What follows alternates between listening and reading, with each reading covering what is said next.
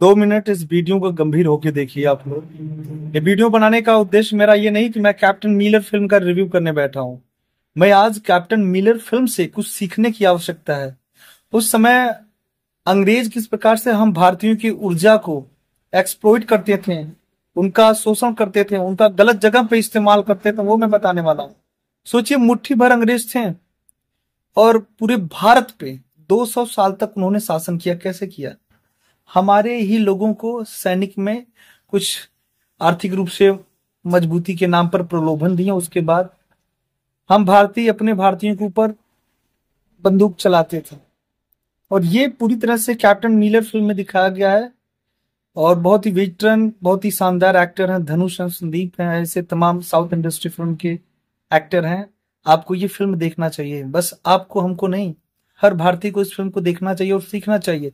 यदि हमारे भारत जैसे देश में हमारे देश का युवा, किसान, छात्र, गरीब, मजदूर कहीं भी आंदोलन करता है तो उस आंदोलन को दबाने के लिए जो हमारे भारतीय, हमारे भाई बंधु जो पुलिस में है, आर्मी में है सीआरपीएफ में है, उन्हें पहले इस चीज़ को समझना चाहिए, बस इनको यहाँ पे रोकना चाहिए या फिर सीधे गोली मार देना चाहिए, या फिर ब्रूटली इंजर्ड कर देना चाहिए। आँखें ले लो तो हाथ तोड़ दो। यही हुआ था। जालियावाला बाग जो हत्याकांड हुआ था, जनरल डायर के दिशा निर्देश में 1999 में तो क्या हुआ था? दो चार अंग्रेज़ थे, उसके बाद जितनी भी गोलियाँ बरसाई गई थी, वो सब कौन था? हम भारतीय लोग थे। जो अंग्रेज़ों की सेना में भर्ती हो गए, उसके बाद मारो। सुभाष चंद्र बोस को लोग क्यों पूछते हैं? जब स्वतंत्रता सेनानी की बात आती है तो लोग उसे क्यों पूछते हैं? उनके पूछने का सबसे बड़ा कारण यह है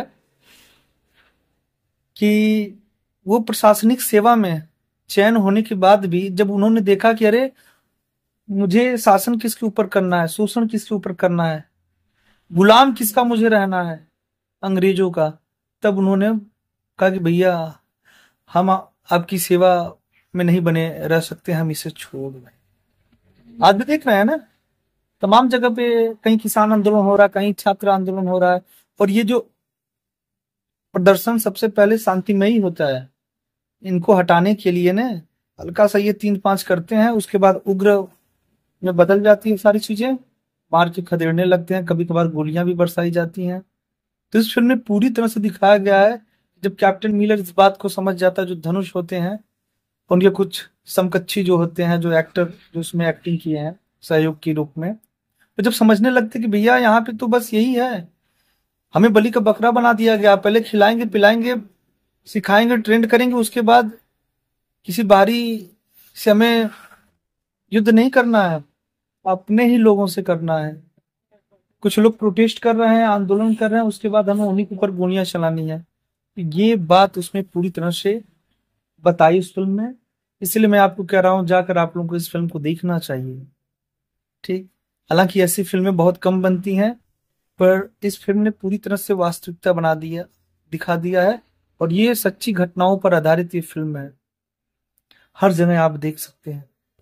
हर जगह यही स्थिति बनी हुई है, और आज भी यदि आप किसी सेवा में हैं तो एक बार अवश्य विचार विमर्श करिएगा, ये कोई बाहरी नहीं है।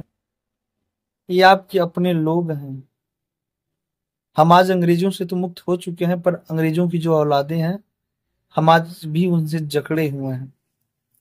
ठीक है, और एक दूसरे का सहयोग करें और विचारों को प्राथमिकता दें, तब जाकर कुछ चीज़ें बढ़िया से चलेंगी